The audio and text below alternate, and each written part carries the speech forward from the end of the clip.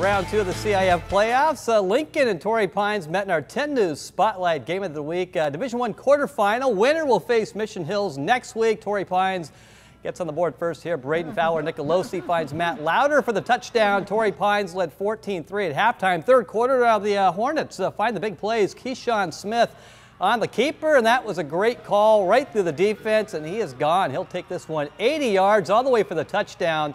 Lincoln took the 17-14 lead. Then more from uh, Smith on the end around right here. Check out the patience. Finds a hole this time, 52 yards untouched all the way to the end zone. He's fast. The uh, Hornets were up 24-14. The defense comes up as big, uh, comes up big as well. Fourth quarter, Xavier Hamlet uh, making a big play. Comes up with a pick six. Down the sideline he goes, 61 yards on the return there. Lincoln a winner, 34-27. They are moving on to the Division One semifinals.